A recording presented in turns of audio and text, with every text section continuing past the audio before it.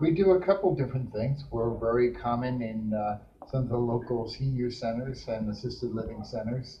Um, and uh, we run an open mic every Thursday in Mount Airy at the Malelani Cafe. All right. The, uh, the open mic is uh, on Germantown Avenue. Um, the address is 6734 uh, Germantown Avenue. Uh, we, we're every Thursday night. We have a, a, a wide variety of players from 12 years old to 96 years old.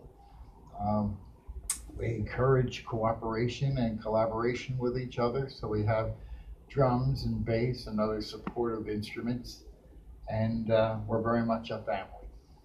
Well, I, I think the most uh, amazing thing is the the respect that each other, that all the musicians give each other, and how we support each other and promote their work. We frequently show up at each other's gigs, and uh, and we love to play together. On Friday nights, we have a jam session in South Philly at the Pennsport Beer Boutique, and we just sit around and play with each other and just enjoy the experience that way. Okay.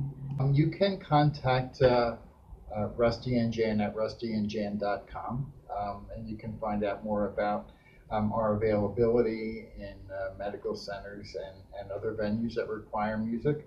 Uh, or you can just come and meet us at Malelani Cafe around 6:30 on uh, Thursday nights, and we'll be there until around 10 or 11. And uh, we would encourage you to come and participate with us.